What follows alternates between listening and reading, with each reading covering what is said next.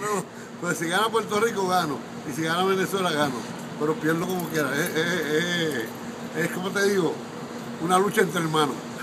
Por último, ¿qué, ¿qué, siente por Venezuela usted? Bueno, Venezuela es mi segundo país, tú lo sabes que mi esposa es venezolana y, y Venezuela me une una amistad extraordinaria. Eh, pues, pues, ahí yo viví tres años y pico cuando me fui de Gran Combo y aparte de eso, este, como te digo, tengo mis compadres, mis amigos ahí, los muchachos de Dimensión Latina, un montón de gente que, son, y, la familia de mi esposa que viven allá.